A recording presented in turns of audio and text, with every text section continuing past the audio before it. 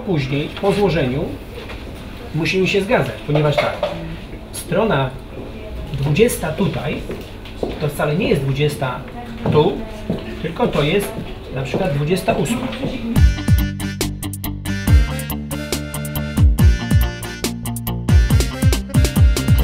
Na wydruku bardzo dobrze wszystko wychodzi, a później w naświetlarni okazuje się, że są czcionka zwalnięta. Na przykład przy Kaszubskim mamy taką stronę Nordę, gdzie na wydruku jest wszystko fajnie, a drukarnia nie ma tej czcionki. No to trzeba wtedy ją podmieniać.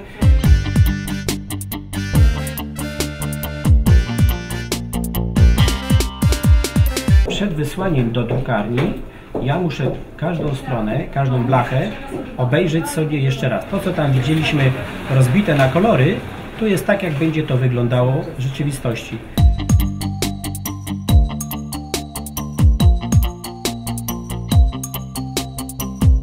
Mamy jeszcze starsze takie trochę technikę, skanery, bo czasami się zdarza, że ktoś przyniesie czy książkę, okładkę, czy, czy to jeszcze skanujemy.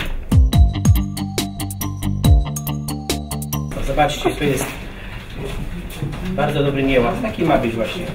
Tak pracują dziennikarze. I teraz zobaczcie, to jest strona Millennium narysowana przez nas, ale tekst jest tylko przypisany do tutaj pani redaktor. I teraz sobie siedzi i sama pisze. A w tym momencie ktoś inny może wkleić tam zdjęcie i może wkleić reklamę.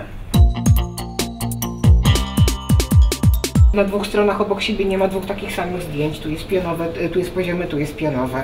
Tu jest, y, jak tu mamy liczbę, to tu mamy cytat, tak? Żeby nie było wrażenia, że pracujemy na tym samym jednym wzorcu i cała gazeta jest kalką samej siebie. Nie, bo to jest nudne, nikt tego nie zniesie.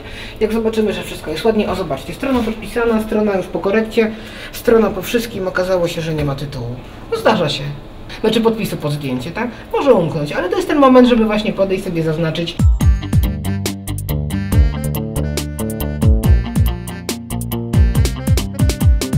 Jak jest święto, to my mamy wolny dzień przed świętem, bo w święto gazeta nie wychodzi. Ale pracujemy w święta, każde, bo gazeta wychodzi po święcie. Więc na przykład 1 listopada pracujemy, ale mamy wolny tam 30 października.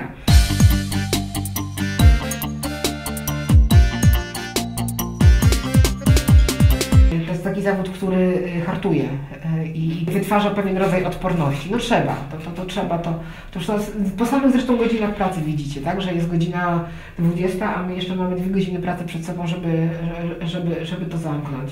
A czasami jeszcze telefon przy uchu i godzina 23, drukarnia dzwoni. Słuchajcie, co się stało? Dwie takie same strony w gazecie.